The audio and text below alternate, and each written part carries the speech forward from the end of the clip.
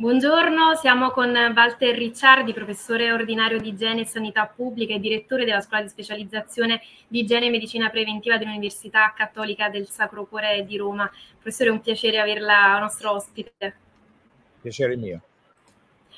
Ecco, professore, il Covid, i virus emergenti e il cambiamento climatico ehm, continuano diciamo, a creare problemi perché è sempre più importante quindi parlare di salute planetaria?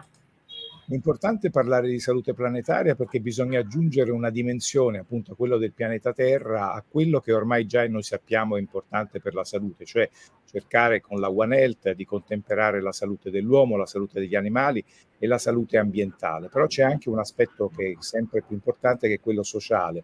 E quindi integrare l'aspetto sociale significa pari- parlare e capire a tutti gli elementi che fanno sì che il nostro pianeta Terra possa in qualche modo prosperare e con questo sopravvivere adeguatamente tutte le specie, sia quelle animali che umane, che naturalmente oggi sono in grande difficoltà.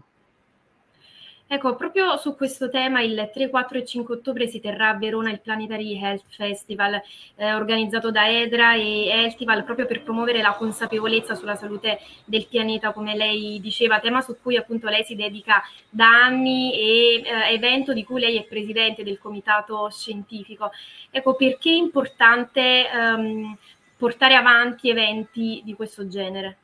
Perché è importante aumentare la consapevolezza nella popolazione generale. Sono decenni che gli scienziati del clima e gli epidemiologi eh, mettono in allarme, però pare che i governi di tutto il mondo non ascoltino e continuino ad andare per esempio sulla strada dei combustibili fossili che sono la principale causa del riscaldamento globale.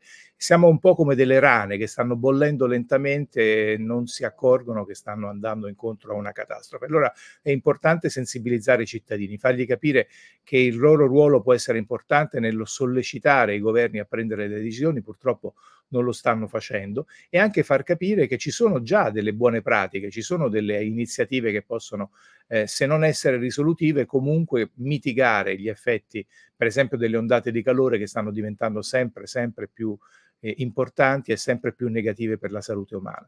Quindi cercare di fare insieme un passo avanti verso il salvataggio del pianeta. Perfetto, professore, la ringrazio per il suo contributo, allora le auguro un buon lavoro, grazie. Grazie altrettanto.